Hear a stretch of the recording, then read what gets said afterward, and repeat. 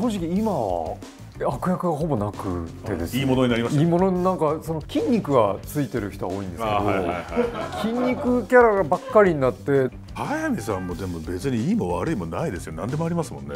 そうでどっちかわからない役ですもんね。どうどうだろう。若い頃のがね悪役多かった。ああそうか。でも今だいたい長がつくね。超超理事長とか。おさおさ。そういう。僕の場合もさっき松本さんおっしゃった通り悪者も悪者あるにはあるんですけど、マッチョとインテリの狭間みたいな役が多いですけどだから今日はマッチョ明日はインテリみたいな。